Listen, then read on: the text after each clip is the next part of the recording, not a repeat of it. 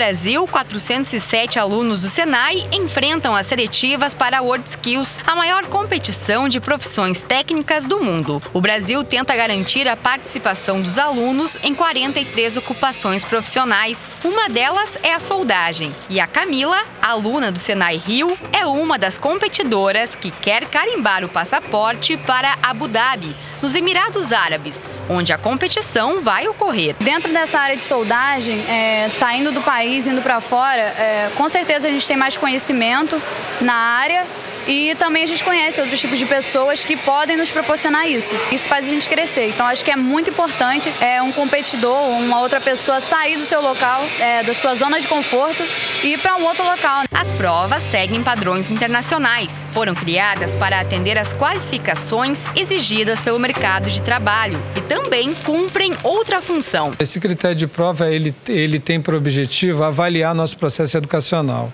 Quando eu avalio meu processo educacional, eu estou verificando se o meu aluno, quando submetido a uma prova é, é, inédita, ele consegue transferir conhecimento. Se ele consegue transferir conhecimento, eu tenho a certeza que eu tenho um profissional bem formado e que vai se destacar no mercado de trabalho.